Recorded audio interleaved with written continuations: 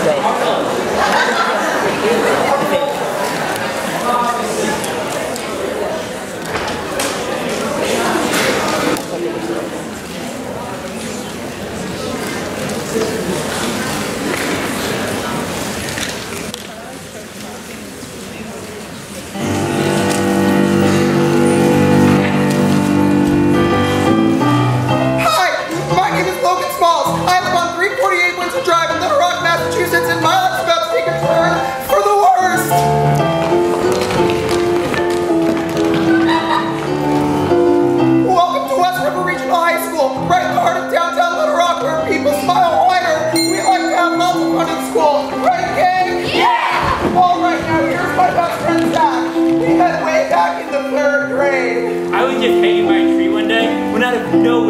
hit me in the side of the head. I turned around and thought this coconut headed is me. So naturally, I threw an even bigger one back at him. I was aiming for his head, but I nailed his thyroid, and he's had awful acid reflux ever since. But also, a best friend. Everybody after school, we like to head into downtown Little Rock and hit up our favorite flea market to browse their cheapest selection of bikes. Then we had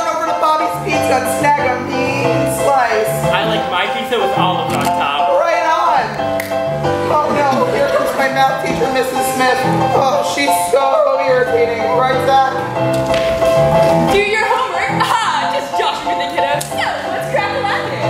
Oh, she's the worst! well, let's take a walk down the hallway, shall we?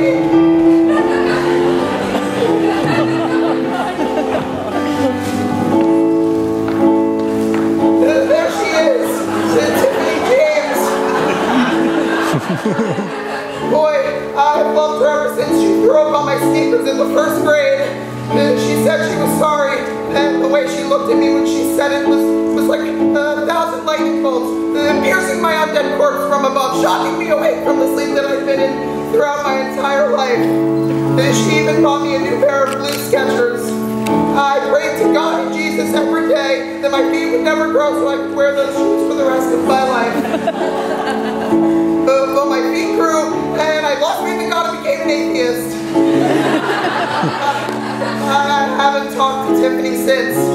I just wish I could get the chance to tell her that I loved her, and still love her, and, and will love her until the very end of time. She's the potato to my chip.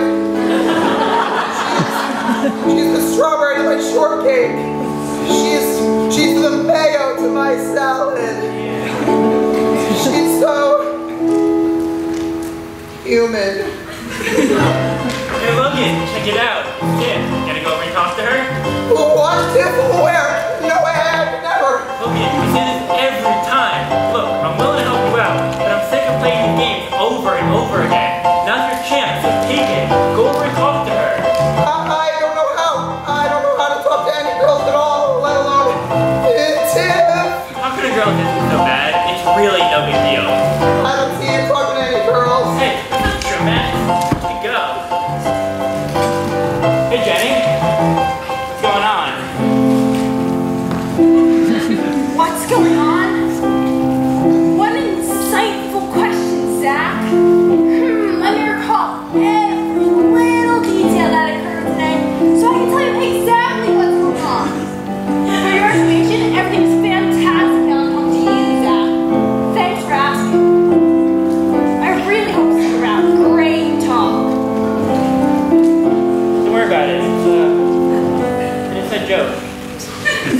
What's important is you. So let's get you talking to Tim. Uh, I can't. I don't know how. What would I do? What would I say? Uh, oh, you know what? Girls love a funny guy. Why don't you uh, tell her a joke or something? That always gets the girl on LinkedIn.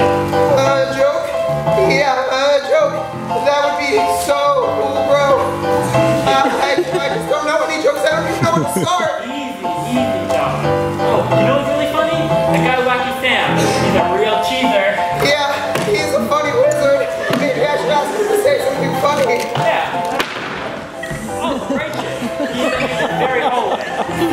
hey, yo, wacky Sam, say something wacky man. Y'all want some wacky jokes?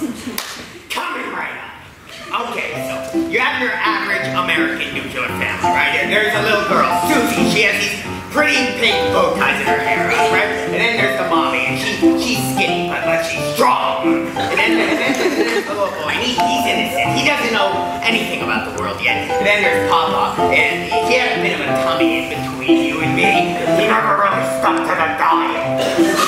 so, this family, they, they want to go on a roller coaster. But when they get to in, he says to Papa,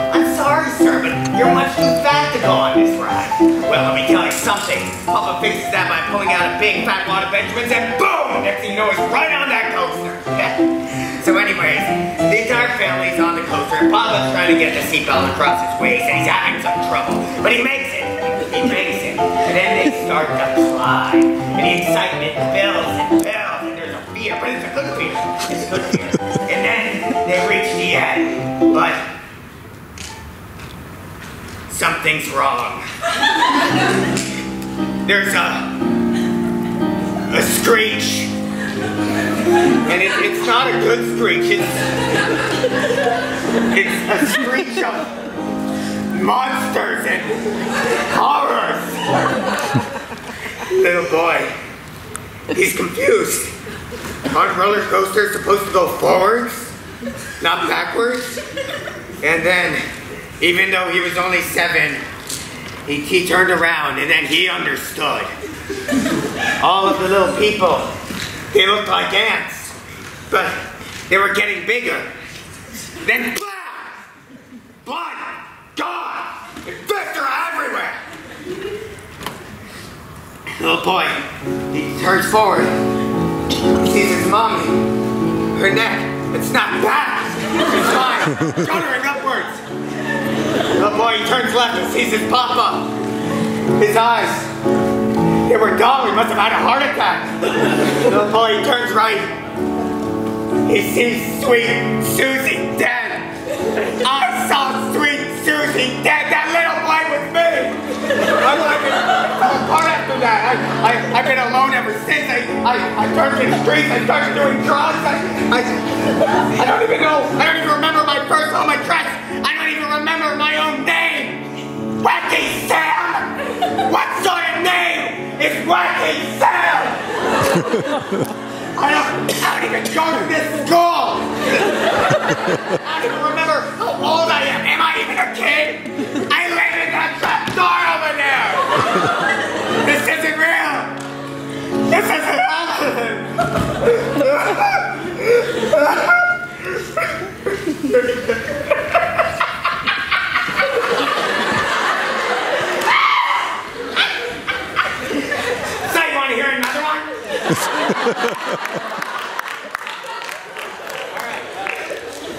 Wacky Sam?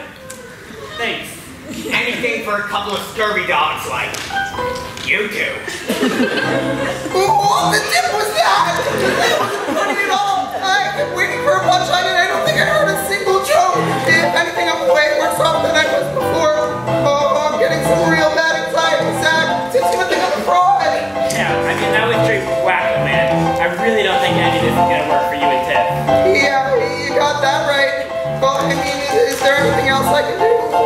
Girls into? You want something better?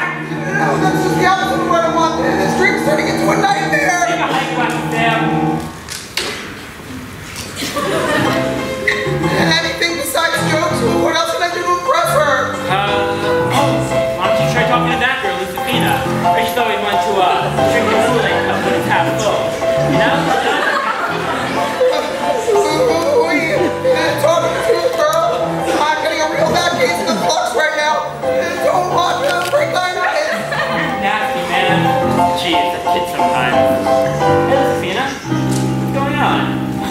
Really like your sweater.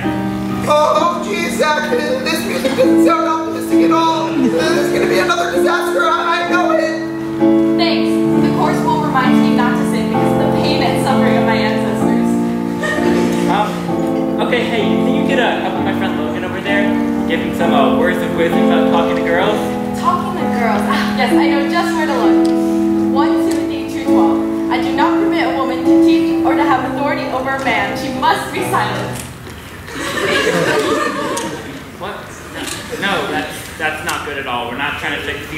Fear into Tiff's heart or anything. Fear? Fear not, for we have answers. Isaiah 35 4. Say to those with fearful hearts, Be strong, do not fear. Your God will come. He will come with vengeance, and with divine retribution, he will come to end you.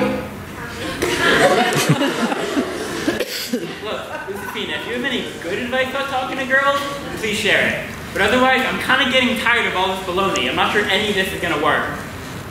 Do you doubt these objective truths? No, no. Are you calling me a liar? Well, John 8 44. You are your father the devil, and your will is to do your father's desires. He was a murderer from the beginning and has nothing to do with the truth because there is no truth in him. When he lies, he speaks out of his own character, for he's a liar and the father of lies. You make me sick. Jesus, Athena, that wasn't very optimistic of you.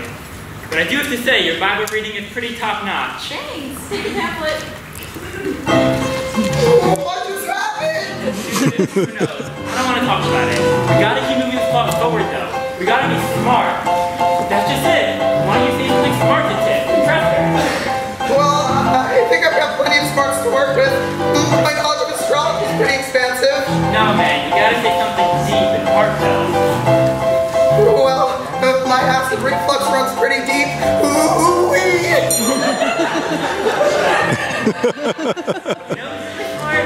guy Mike. Mike Sanchez, yeah, he, he's a smart doodle. Yeah, dude, he's like the lizard gizzard when it comes to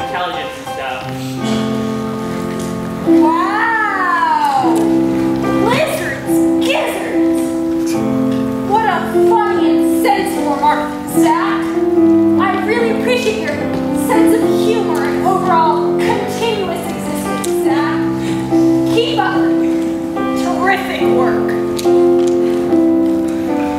Uh, Gee, Zach, this inside joke's getting pretty intense. I can't help but think I might be getting the short end of the stick on this one. Zach, too soon? Oops, I think my retainer fell out. Don't worry about it, man. Just, uh, something you haven't heard before. Let's go get Mike. Mind maybe sharing some of your smarts with us? Yeah, man, what's on your mind? I, I don't want to talk. Come on, lay it on us. Look, can you guys just please leave me alone? Yeah, come on, what's the hang up? Uh, I'm sure it'll be good.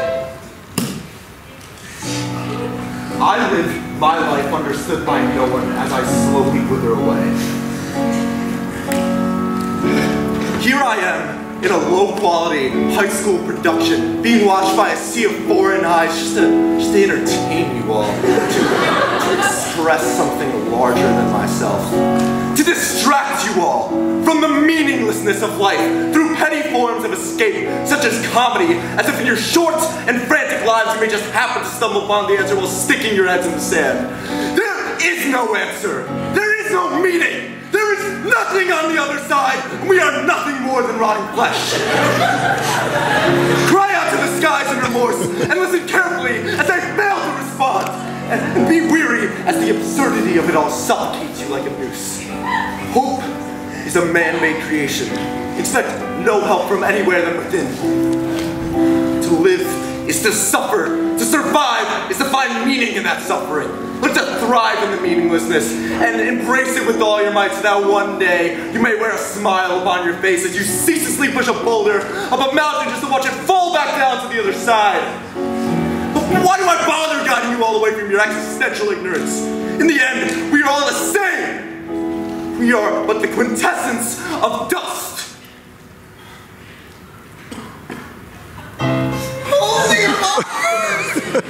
Jeez Louise, what a bummer, man. I feel like five means my locker never coming out. Yeah, that was one heavy thought back there. I don't know how much Tiff's gonna like that.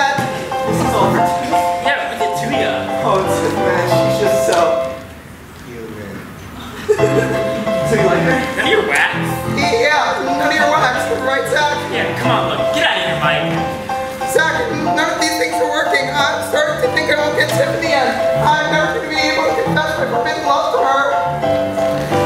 Why are you clapped, boyos? Causing your ruckus in the hall? Room for one more? Get out of our way, Mrs. Smith. You aren't relevant to the storyline. You old, dumb, stupid bogey. Whoa, Zach, take it easy on me. You weak, pathetic sack of trash waste of taxpayers' money. You sound exactly like my ex. Let me day you have ever received in your entire, pathetic, worthless life. You're probably right. Whatever. Mrs. Smith, do you think that we can still pass the medical test after everything I've said earlier in the show? Yeah, I'm sure we'll pass.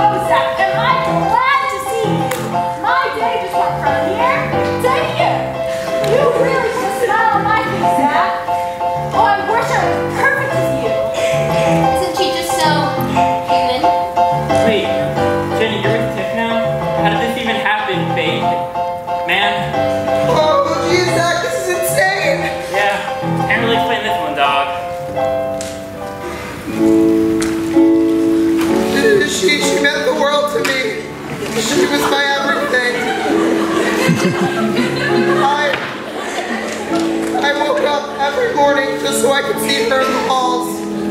Every night I dreamt about our future together, and all this time, she never even loved me back. I don't think I'll ever be able to love again. Without her, life is meaningless. I'm a fraud. I just wish I could disappear completely. I don't think I could ever move on from a girl like Tiffany James.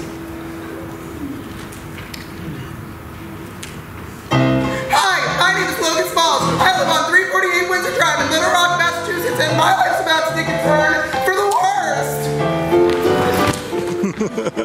worst.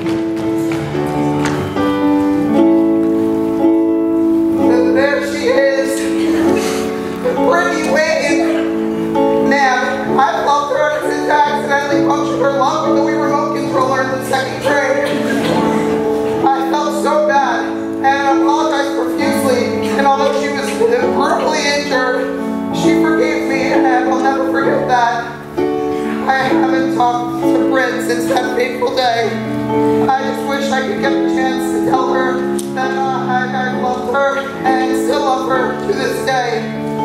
She's, she's the ball to my mitt. She's the Oreo to my almond milk. she's, she's the Velcro to, to my, to, to that other piece of milk.